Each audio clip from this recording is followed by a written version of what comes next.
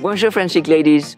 As a woman over 50, would you like to be stylish, but find that many trends are frumpy, ugly, unflattering, and just plain unwearable? Or have you succumbed to examples or advice that tell you that frumpy is acceptable? Is frumpy the new black? We women over 50 want to look stylish as we get older. We want to look comfortable, yes, but we also want to look chic and suave. I am going to show you 10 style mistakes in both your clothing and style approach that are making you frumpy. And stay to the end for the one piece of advice I always give that is guaranteed to dump the frump from your life forever. Let's start with the first mistake principle giving up.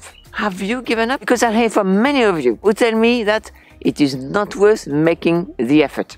Joe from California wrote to me and said, Marie-Anne, I've given up. I no longer make an effort. I'm a grandmother. I've been with my husband for 40 years. Why do I need to make an effort? I find it so sad to hear comments like this. To Joe, I said, it's never too late to try, but always too early to give up.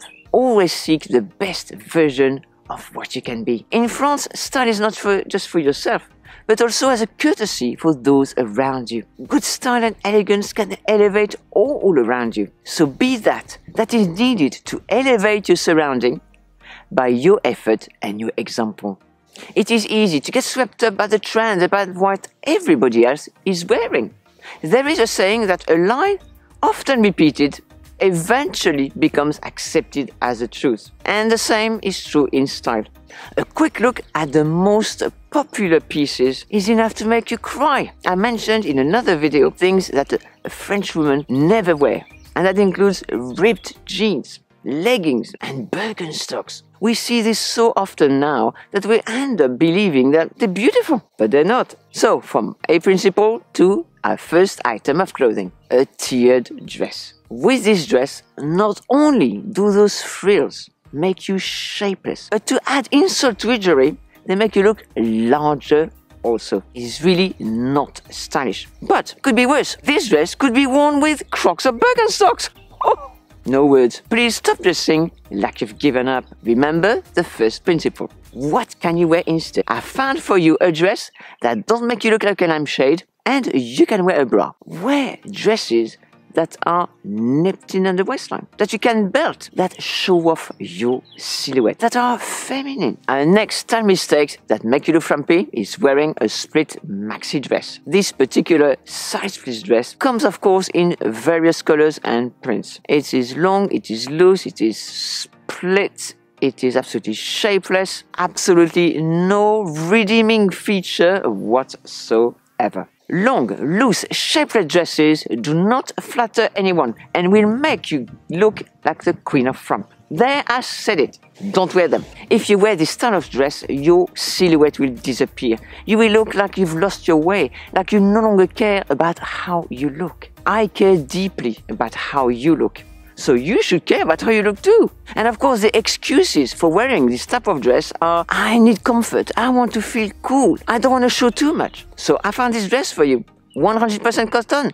So you will be cool. It has straps, so you can wear it in the sun. It is fully lined, so you won't show too much. But it has a waistline. We'll be able to see your beautiful silhouette. Style doesn't have to be frumpy. Next on our list of style mistakes that make you look frumpy, the. What is a shacket, you may ask, Marie-Anne? If you don't know, I'm delighted. Well, between you and me, it must have taken a genius to put shirt and jacket together to make a shacket. You may also tell me, Marie-Anne, you always tell us to wear a shirt as a jacket. Yes, your shirt has a jacket, but not a jacket. A jacket that looks like a shirt. It's thick. It's got big pockets here, and it looks like um, I don't know, mm, frumpy. To me, jackets are manly. They hide your silhouette. They are cut straight, and again, that's going to make you look shapeless, hiding your silhouette. What can you wear instead? You ask Marie-Anne. I advise you to wear a jacket or a shirt over your tops. Ta-da! We have looked at a few pieces of clothing. Now back to our style mistakes principles. This one is low standards. It is just as easy to copy other people's low standards in their behavior as it is to copy their low standards in their style. Shirley from Australia wrote to me, Marie-Anne, all around me, everybody wears frumpy clothes. Why should I look different? If it's okay for them, it's okay for me. But I ask you, is it okay to follow other people's low standards? I get comments on my YouTube channel all the time. Comments such as, you can wear what you like, it doesn't matter. But it does matter. Style matters. And here's why. You should be trying to elevate yourself, not drag yourself down to other people's low standards. Celebrities in the news display their low standards in behavior and style every day. But if you are following me, you know that we are all about elevating our style, all about trying to be better, making an effort. So I said to Shirley and I said to you, raise your standards. Be proud of who you are and who you are about to become. And now back to style fashion mistakes that make you look frumpy. We have the casual loose, elasticated waist, wide leg, cropped pants. Well, this piece has it all.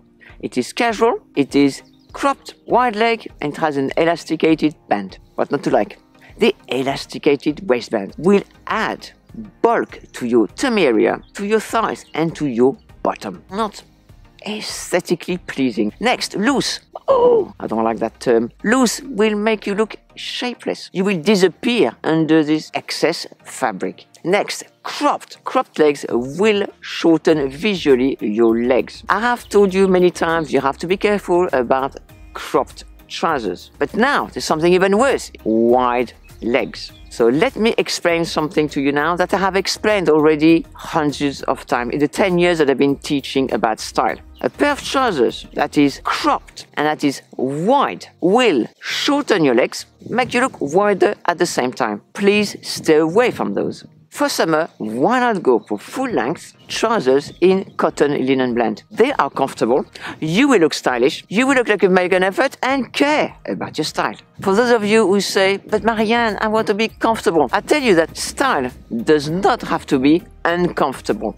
Our next style mistake principle is be careful who your role models are. There are many style role models that we can choose to follow and emulate. Who are yours? Always remember that every single example of style you see will affect your own style. Your style eye will become accustomed to what you see the most. If you choose to view not so good examples, your style will follow. It will deteriorate. It is so easy to view shabby and frumpy styles as acceptable if you see it on a daily basis. Instead, fill your internal vision board with the best that you can see. Fill your internal style chatter with the best commentary that you can hear. Stop listening to the little voice in your head that tells you, oh, that will do, Oh, why make an effort? Uh, whatever. Instead, replace it with that little voice in your head that says, Why not push the envelope today?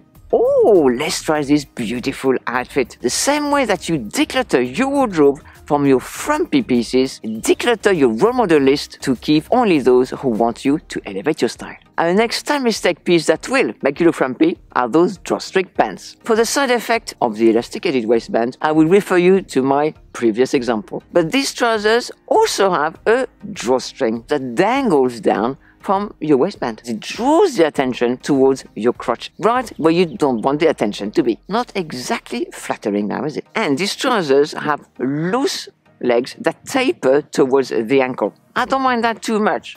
But to finish the look, we have cuff hemline. They couldn't have added anything worse. In French, we say, on aura tout vu. This look reminds me a little bit of the bottom part of a baby grow. Cute on a baby, but not so cute on women over 50. What do you think of these trousers? Is it a look for women who have given up? Comment below. What can you wear instead? I found for you these lovely, flattering linen trousers. They will keep you cool and you will look fabulous. As I like to say, the frump, say yes to chic. And next style mistake piece that makes you look frumpy is joggers. Now, yes, if you go to the gym, you wear joggers, that's fine. But as day wear, don't you think that looks frumpy? Mm, yes. The cut of them are not flattering.